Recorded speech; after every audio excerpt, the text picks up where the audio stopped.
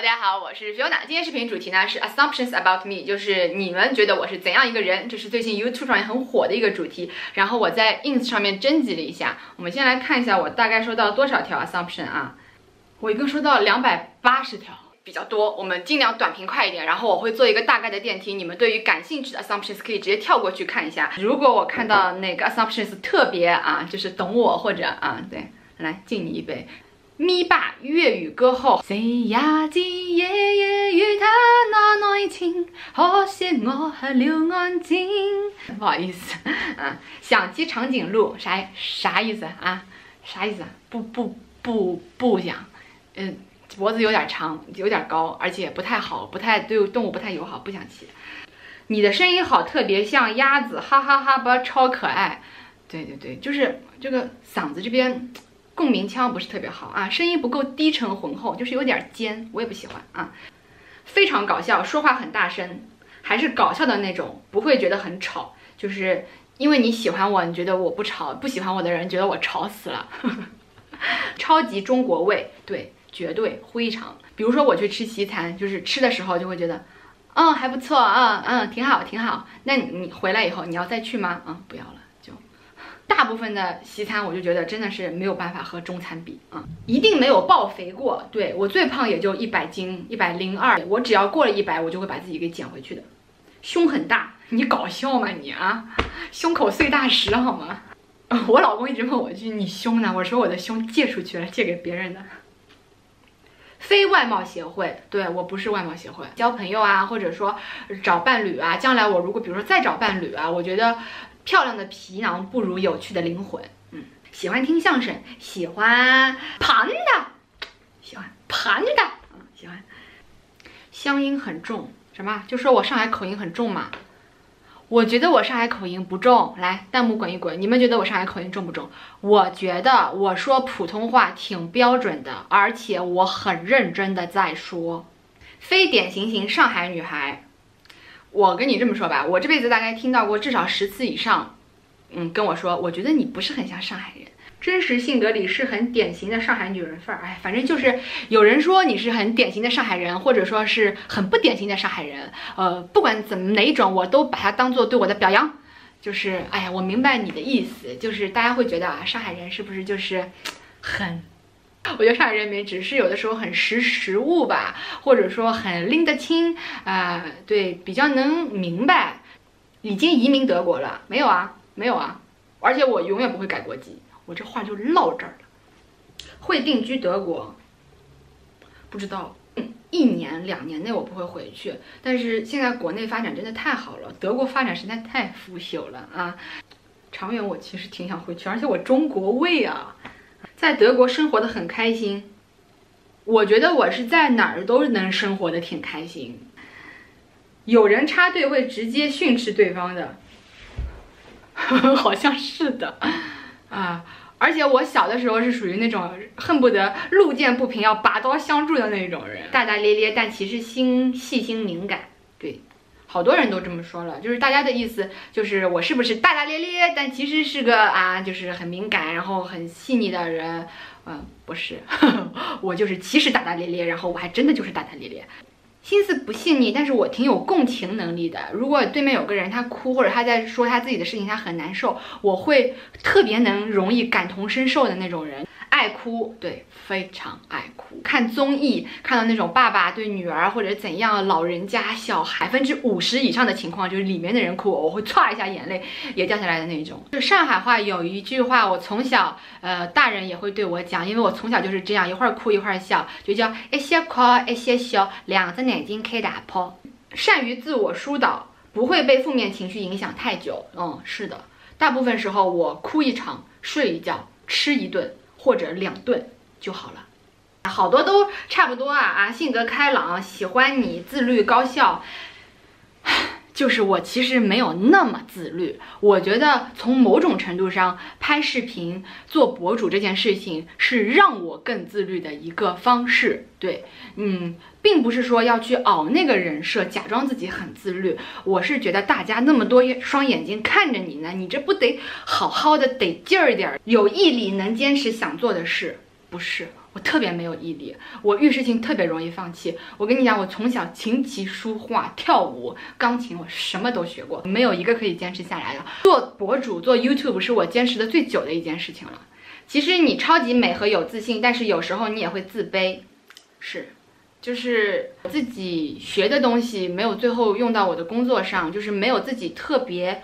专业性的一个东西，大学那个专业公共事业管理是被调剂过去的，没有马上调整状态。比如说想要学法律，因为我华政的嘛，如果想要学法律，就是赶紧让自己转专业啊，或者说把二专读完呐之类的，就是最后嗯没有一个自己特别专业性的东西可以运用到自己的职业上，很在乎别人的看法，嗯，就是。在乎，但没有说很在乎，就是所有的评论，好的不好的，我都会去看，都会去了解一下大家对我的评论或者说建议是什么样的。我觉得说的对的，我能改则改。而且永不再犯，但是一些没道理的，或者说就是嗯，别人很主观的一些臆断，或者人家以己夺人，他觉得你是怎样怎样的，像这种，我觉得就不用特别在意。呃，我觉得明眼人都能看出来，很多时候一个人说出什么样的话，也会代表他自己是怎么样格局的人嘛，对吧？这种就没有什么好气的，很认真、负责、靠谱的妹子。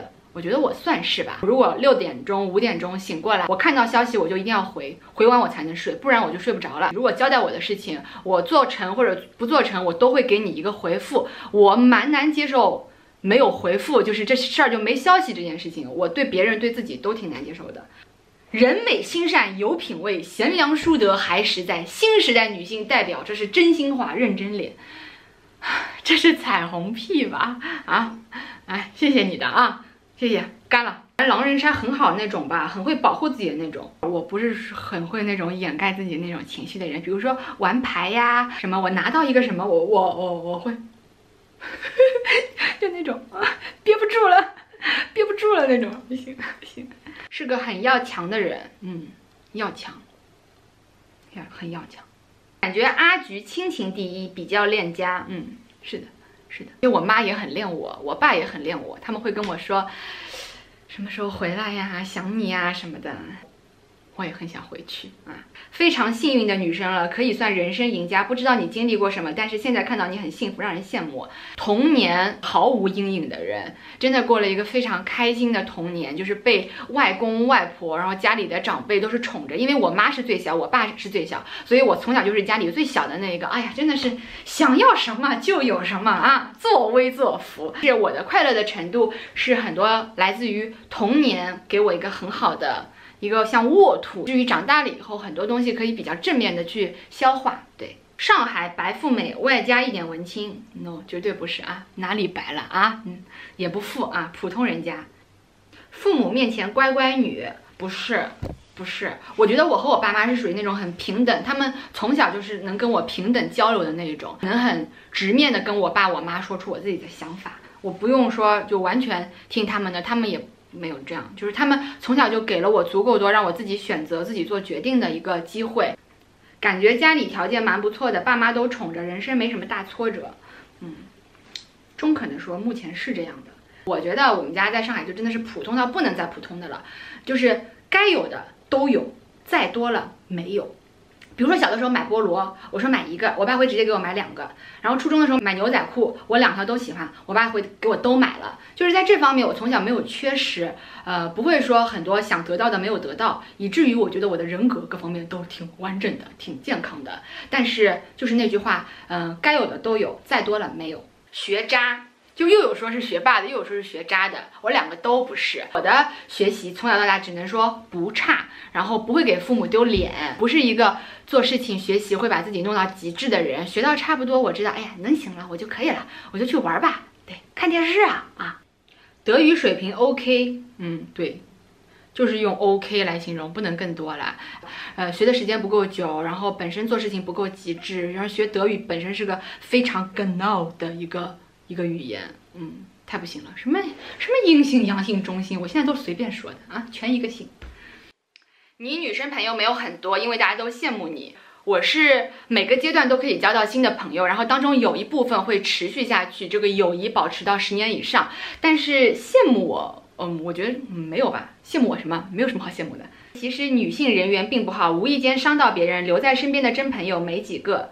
我在高中之前的时候是有一点这样子，呃，现在大了以后觉得，嗯，那段时间也的确不是特别的得体吧。呃，自从毕业出了社会了以后，现在已经很少再发生以前的那样子的情况了。到了现在这个年纪，觉得很多朋友很多年份的知道我是怎样的人，这样的是保持下来的是最好的，彼此都最舒服的。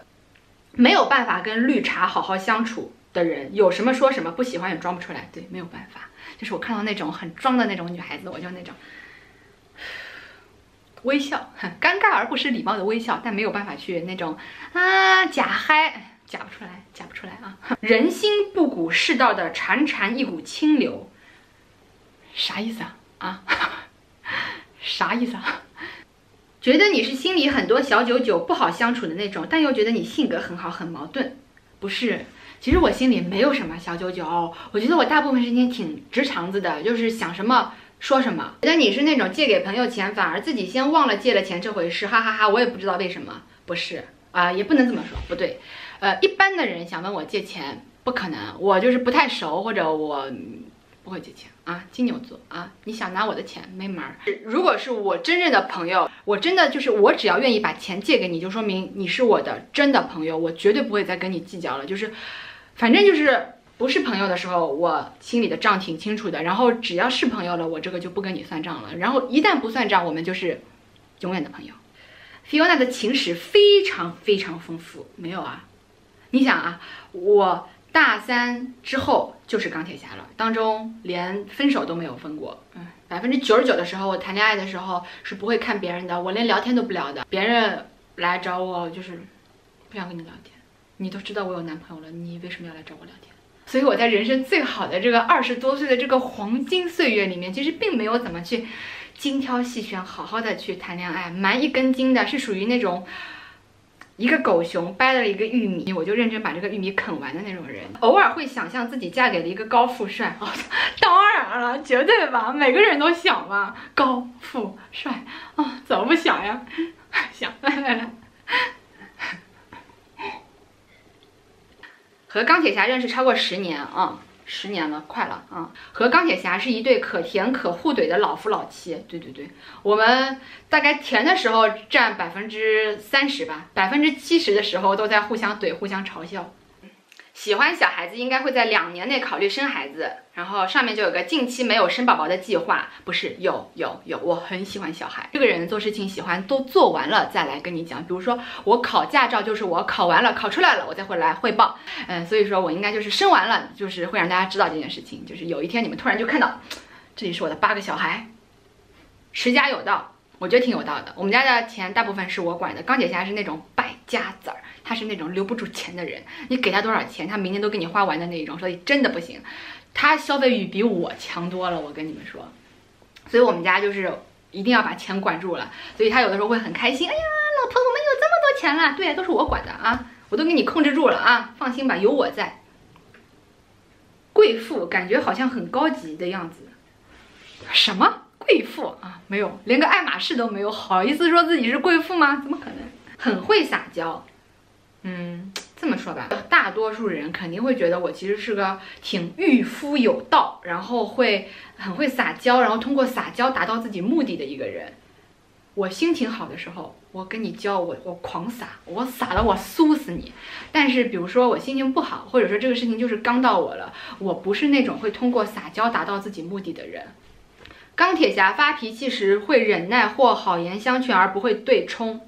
不是，我是那种会对刚的那种人。我觉得大家对我情商的估计比我实际要高。我希望我自己可以以柔克刚，但事实上我不是，就是理性和主观上我没有完全办法达到我自己的一个希望值。老公很宠你，好像大家好多都是这么觉得的，但我觉得不是。只不过是性格脾气特别的相像，然后很多做的决定就是正巧一样，所以不存在说是我特别顺着他，还他特别顺着我，我们俩正好是一样。我跟你们说一个事情，就是我之前做饭做双皮奶啊，那个时候跟他谈恋爱还没有很久呢，那个玻璃就炸了，然后他直接看到就把门一关，说你弄干净了我再来。就是他没有帮我，但这是很多年以前。现在他有越来越好照顾我，但他其实不是那种会很宠的人，比起那种疯狂追求我、什么都宠着我、顺着我的，我还是更喜欢我老公这样的，就是正好恰巧我们俩的爱好、喜好、选择都一样，然后可以就是过下去。别人宠我或者说迁就我，不长久，我觉得心态特别好，贤惠。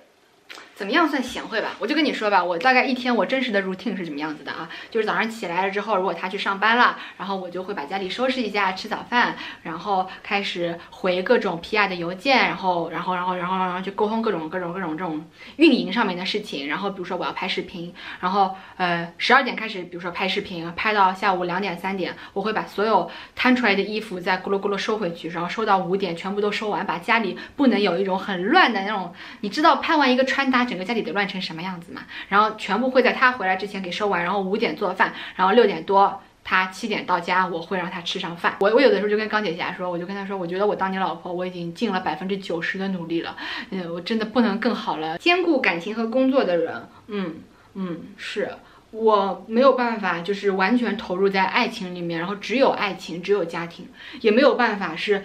我只有工作啊，男人不重要，我觉得不是。我是从大概大学开始就很希望我将来两者东西可以平衡。如果平衡的话，我觉得是我的福气。在就是你尽量把它去搞平衡了，你再在某一边，然后有可能天不随人愿的时候，你才不会崩溃。就是我这边没有了，那我这里至少还有。对，嗯，我是这样子的，心态超好的穿搭博主会不会有压力？有，有，有。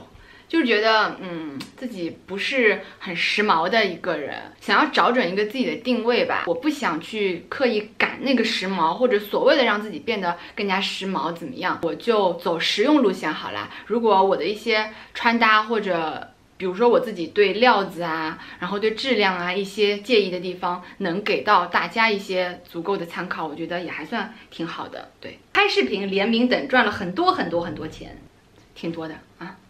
哎，这么说吧，我拍视频头一年，我可以说我一分钱都不赚，因为我那个时候不知道拍视频原来可以赚钱呢，连 YouTube 的广告费我都不拿的。我想，哎呀，这能有多少钱呢？就联盟啊，一些一些东西来找你啊，头半年我都没有回，因为我觉得骗人的，骗钱的。然后后来真的开始，哇哦，原来可以真的赚挺多钱的，而且现在真的是一个自媒体井喷的一个时代，然后很多就是大家的一个平均线，那个钱就已经到那个位置了。然后对我而言，我觉得，嗯，你真的。赚过钱了，你靠这个你赚到钱了，然后你知道这个东西，其实你真的要赚的话，它可以钱来的非常非常快，但是也有可能因为你自己的本身的位子不到那里，你自己的水平不到那里，也有可能就是这个东西来得快去得快，就是在和 Petty Studio 做联名的时候。很多人就是面对面见到我了，然后包括最近的一次 Bera Bera 联名的时候，很多人真的就是会艾特你说买包了，是你才知道，哇塞，原来我真的是有影响力的。很多人真的是因为我的一句话，他会就去买的。然后这件事情就是反而会给到我更多的压力，我要给大家更加有用、更加有效的信息。如果联名产品销量没有预期高，心情会很不好。嗯，不会。从我的工作比和我实际的最后的收入来讲，其实本来就不是一个划算的买卖。但是我觉得做联名可以让我学到很多东西，让我知道，嗯，衣服怎么做啊，包括包啊，它的构造啊，原来有这么多东西需要去选择。所以说，我自己个人如果销量不好，我心情不会说很不好，我会反而觉得啊，好像对品牌有的时候挺难，就是觉得嗯，会辜负到别人吧。但但是目前我两个联名销量都。我们那个衣服当时第一批就全部都买完，然后直接做了第二批。然后包的话，现在第一批也很好，让大家都说想要出一个更小的 size。然后我们现在就是等我，you know，嗯，觉得你并不怎么会迷茫，自己想要达成的目标一定会想要实现。不是啊，很多时候我挺迷茫的，就是到底以后是在德国，或者在德国到底再待几年，还是回国？包括爸妈都在国内。他们七十岁了，或者将来身体不好了，我得陪着呀。对啊，我什么才能做得更好，或者实现我自己的价值？很迷茫啊。知性优雅、大方得体、气质十足、秀外慧中。你确定吗？客气了，干。哎呦，没了。好。说完了，没了，你们看的爽吗？我觉得大部分看我久的人，我觉得其实挺知道我是怎么样一个人的，特别谢谢你们。对对对，还有一个就是 YouTube 啊，这个礼拜已经过二十万了，然后 B 站也正好过了三十万。嗯，我觉得还算是挺里程碑的。当初拍第一个视频的时候，翻起苹果 iPad 的前置摄像头拍第一个视频的时候，真的没有想到这件事情会给我带来那么大的成就感。然后你们的每一条评论弹幕会给我带来那么大的一个。满足感就是，然后你们有的时候说，哎呀，我买了这个这个，然后你你推荐的我也很喜欢什么，哦，那个感觉真的是好飞了，爽爆了，所以真的非常感谢大家。嗯，如果你这条视频下面评论的话，我也很希望你们可以评论告诉我，你们还想看我做什么主题，或者你们最喜欢看我什么样子的类型和主题。Anyway，谢谢你们每一个关注我的人，看我视频的人，希望你们喜欢今天视频主题，记得订我的频道，我是 Fiona，我们下个视频再见，拜拜。说你觉得我是个好太太吗？我觉得你是个好太太，但是你今天一下午没有来抱过我。我我主要我你来抱我一下。嗯，好吧。一、二、三、四，我主要四啊。